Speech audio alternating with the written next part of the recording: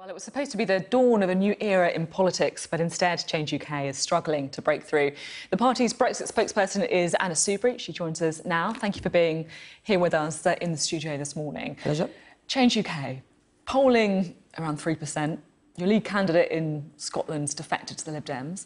What, what's going wrong? Well, look, we were formed five weeks ago, if that actually.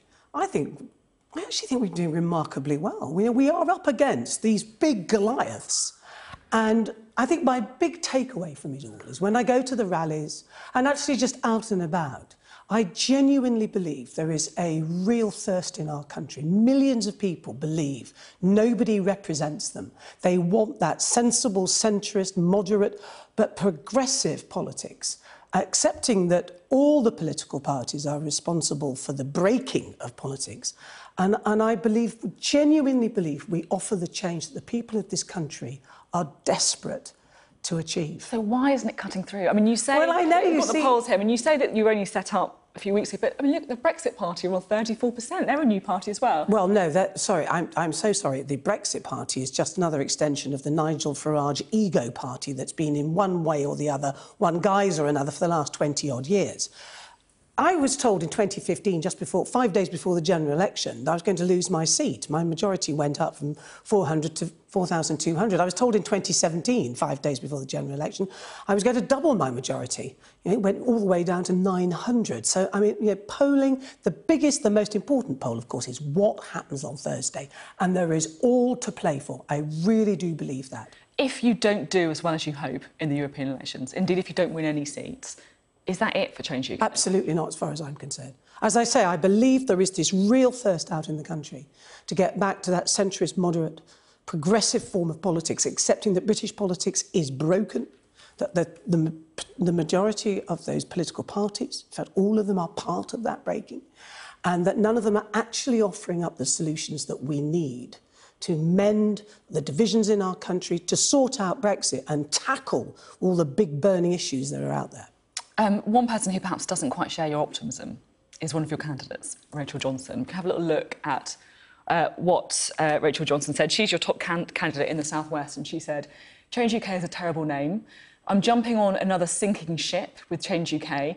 We hope it's not sinking, but it's not riding the ocean waves. I think it will be a slow build, a reverse Macron.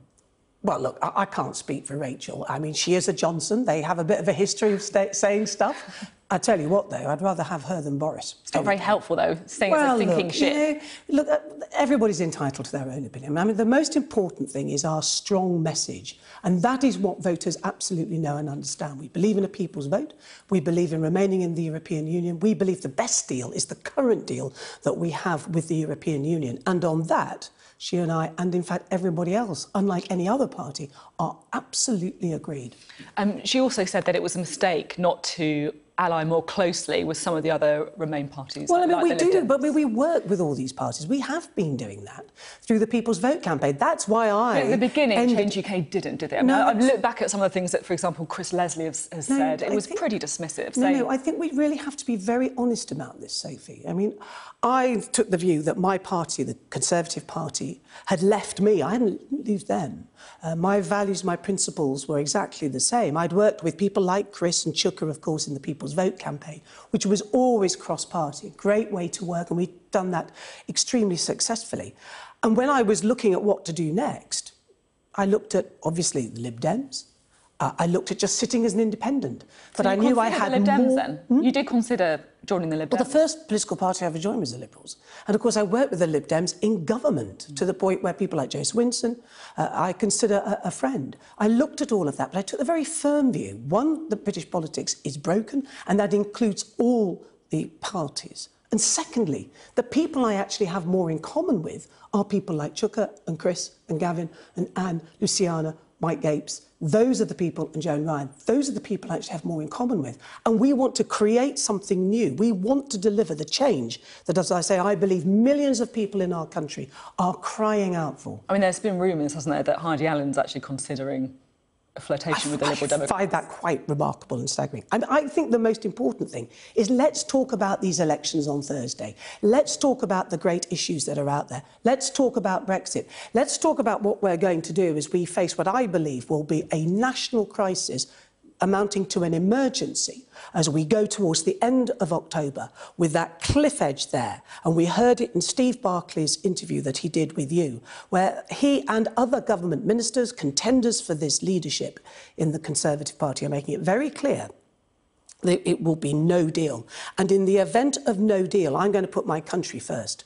And I won't hesitate to say, in the event of no deal, we have got to revoke we have got to stop this thing that is destroying British business, that is blighting our politics, and is desperately affecting the credibility of this country abroad. I mean, no deal, if you believe um, some of the Conservatives, could happen sooner than we think. I mean, Absolutely. if we get Steve Boris Barclay Johnson. was saying that there was going to be a, a decision between revoke or no deal if that deal doesn't go through. So if the withdrawal agreement fails to pass again in June, will Change UK then back revoke? Oh, if it's a question between no deal or revoke, absolutely. No deal would be catastrophic for this country. Who says that? This government. Its own impact assessments have shown that it would be a catastrophe. It would be profoundly bad for our country.